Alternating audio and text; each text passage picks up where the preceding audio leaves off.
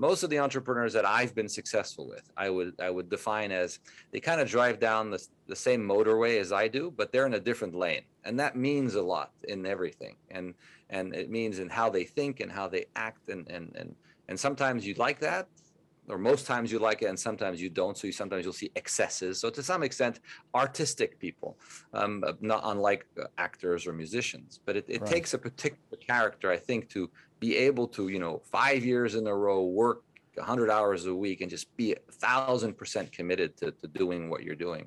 It's not for everybody. You know, I do try and encourage as many people to try it. Um, but the key to success is just your ability to slug it away for a long period of time and just have a lot of self-belief because it's a it's a it's a roller coaster journey, right?